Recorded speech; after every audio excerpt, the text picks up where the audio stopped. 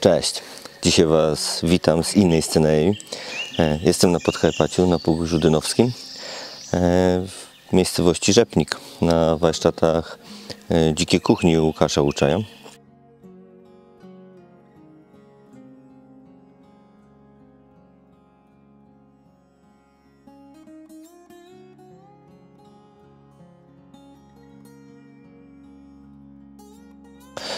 Chciałbym zwrócić dzisiaj uwagę na obserwację przyrody, obserwację naturalnego środowiska. E, Jestem w lesie liściastym, który charakteryzuje się bardzo bogatym e, runem leśnym. E, Lasy liściaste o tyle są interesujące, e, że na początku roku, na przedwiośniu, pojawia się w nich dużo roślin zielnych i bardzo wiele z tych roślin kwitnie. E, W lasach iglastych sytuacja wygląda trochę inaczej, gdyż tam nie dociera e, tyle słońca, tyle światła, w związku z czym rośliny mają e, o wiele trudniej się rozwijać.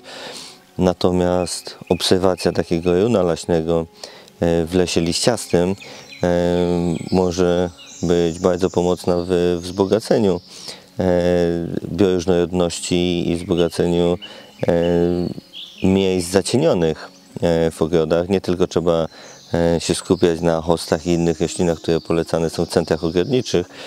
No myślę, że e, zasadnym jest też e, obserwowanie i wprowadzanie dzikich roślin, które naturalnie występują e, na przykład w lasach lub na przydrożach w miejscach zacienionych, bo mogą być one równie bardzo interesujące, a także bardzo wartościowe z punktu widzenia czy to kulinarnego, czy to na przykład zdrowotnego.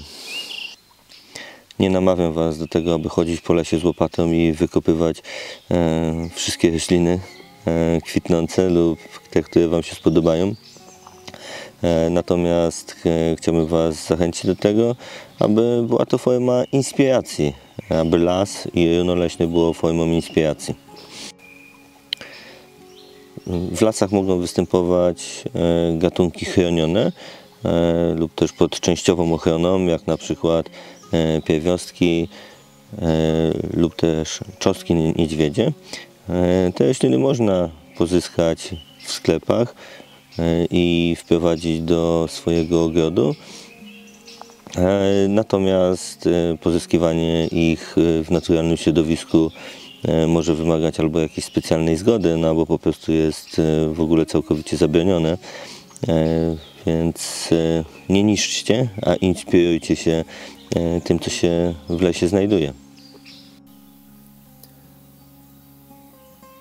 Tej najniższej partii lasu e, z roślin, które tutaj zaobserwowałem, które albo e, przestały kwitnąć e, niedawno, albo teraz kwitną lub też będą kwitnąć w najbliższym czasie.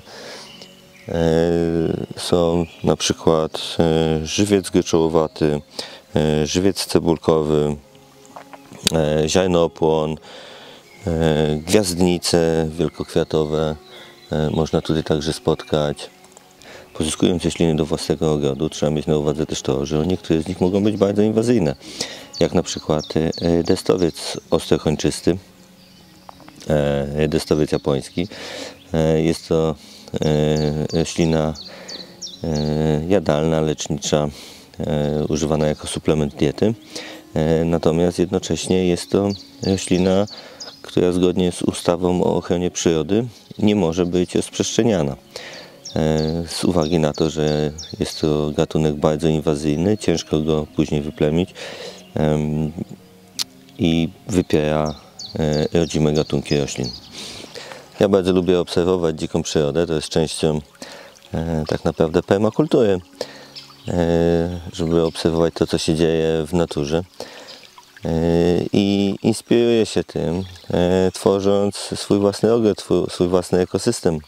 I też do tego Was zachęcam, e, żeby nie tylko patrzeć na centra ogrodnicze, e, ale na to, co występuje e, naturalnie e, w przyrodzie E, i próbować odtworzyć e, część z tych naturalnie występujących ekosystemów, z tej bioróżnorodności, bo tak naprawdę Rozchodzi się o bioróżnorodność, o to, żeby mieć jak najwięcej e, tych roślin, e, żeby e, urozmaicały one ten ekosystem.